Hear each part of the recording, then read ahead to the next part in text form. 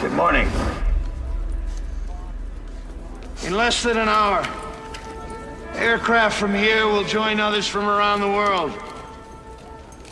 And you will be launching the largest aerial battle in the history of mankind.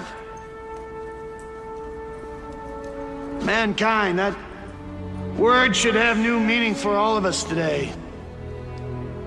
We can't be consumed by our petty differences anymore. We will be united in our common interest. Perhaps it's fate that today is the 4th of July. And you will once again be fighting for our freedom. Not from tyranny, oppression, or persecution, but from annihilation. We're fighting for our right to live, to exist. And should we win the day, the 4th of July will no longer be known as an American holiday, but as the day when the world declared in one voice, we will not go quietly into the night.